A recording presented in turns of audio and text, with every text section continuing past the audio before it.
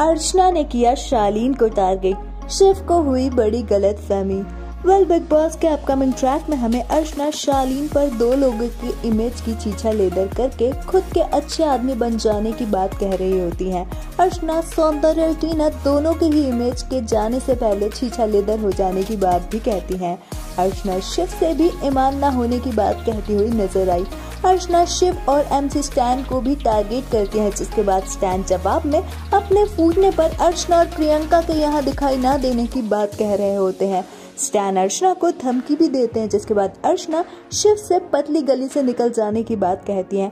प्रियंका शिव और स्टैन पर झूठे इल्ज़ाम लगाने का आरोप भी लगाती हैं।